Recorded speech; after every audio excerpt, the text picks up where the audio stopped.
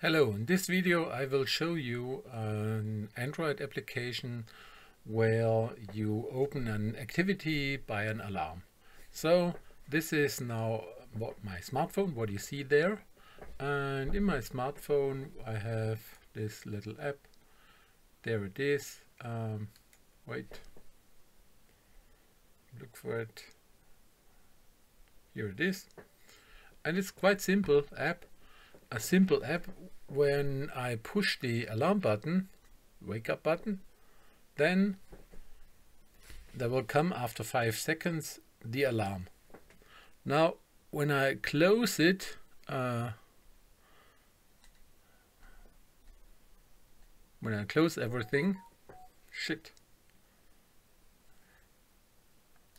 Now I closed unfortunately my app. Uh, my uh, remote from TeamViewer the uh, the view. So what we do now, I will close now the camera because we don't need it, the camera. Um, and we go back to the screen in front. Now we have our app and in my app when I take um, this one and I close the and move it. When I close it then and I'm in the start screen then it should also open after five seconds. And now we do it something more. Now when I open the app send an alarm and now I push the uh, screen off then you see the alarm comes. Uh, this is not not visible um, inside. When you unlock it then you will see this one. Uh, in my smartphone it's different. In my smartphone I can see uh, the lock screen. So uh, I see this red this one in the uh, in the lock screen. So this is uh, beautiful. And the application I will explain you now the application and you will find the code on my website. So uh, I leave it there. And the link will be below the uh, my excuse me corona times uh, um, it's difficult. So what we what do we have here? Okay. We have here the main activity. In the main activity we have as always um, here this is the creation of the set the initialization of the uh, of the main activity main activity.java then I have a button and inside the button I say, okay, um, I need following stuff. I need, um, I create an intent with an alarm receiver. So this is the alarm receiver on the left top. And I say new intent from this context. This is my main activity. That's the context. I need an, uh, I will create the alarm receiver so that it listens. And then I say post this uh, by a pending in intent. An intent is always intention what the, the stuff should do. It's packaging. So I say, okay, I create a pending intent uh, and inside there I, I push it to the as a global hook to the uh, get broadcast and inside there there's the this alarm receiver which I've created there. So we take this one drop it into something which calls the broadcaster. And inside the broadcaster this is the alarm receiver. This listens. And the listener uh, will is now in the system. Then we say we create an alarm.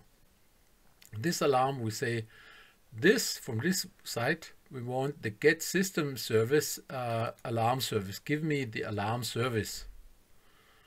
and inside to the alarm service we set a new wake up this is create a new wake up alarm uh, this is our uh, and the this is the time and the time plus two seconds so this is the current time and we take we add two, 2000 uh, milliseconds and inside we pack this one. Now what is inside the alarm receiver? Inside the alarm receiver there is simply one stuff. It's it is uh, create an alarm intent or um, it's inside the alarm receiver. This extends the broadcast receiver.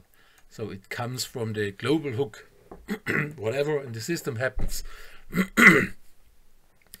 Then whenever an alarm happens then we get the intent from the system and the context.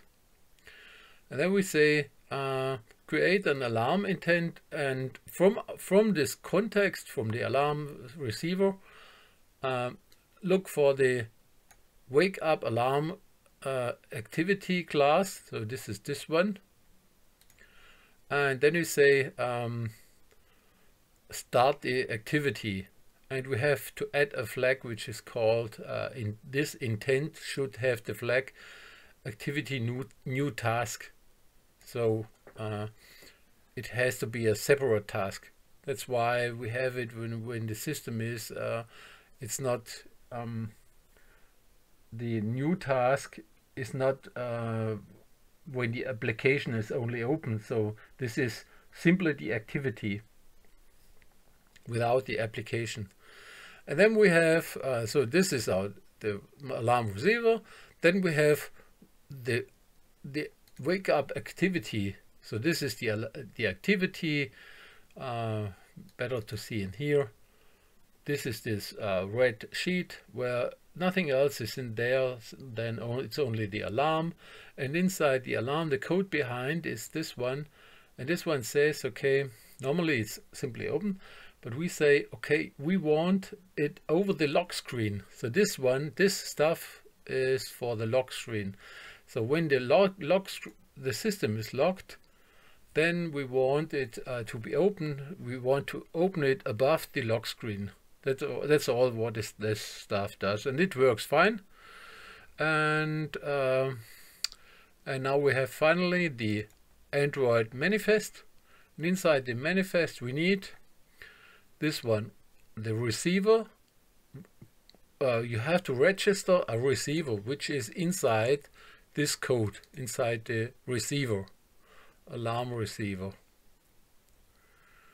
And there's the alarm receiver alarm receiver and then this is with a with a point this one uh, yeah point alarm receiver and then we have the activity that's the main activity and inside the this uh, activity which is will be opened inside this one we have to set show on lock screen show when locked even if when it's locked, set this one to true.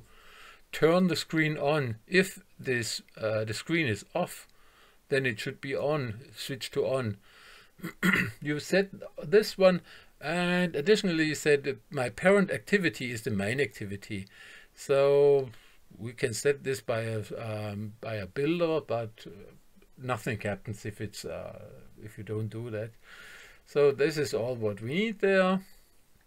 And above there we have some usings, using permission. So this is when you install the application, there comes always uh, allow the permission to to do something. So the alarm always have to uh, wake, log, log on, and it has to be a system alarm. So uh, and you have to disable the key guard. So since it, when it's locked. Just and that's it. And I'm not sure uh, foreground service. Uh, I'm not sure if this the the rest one is uh, necessary. So what do you see there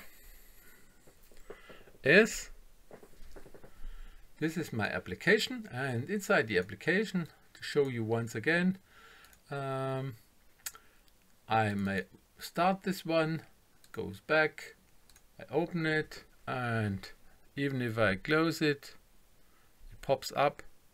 Swoop it pops up. It pops up uh, above. This one also goes above the lock screen and even if the application is not uh, open.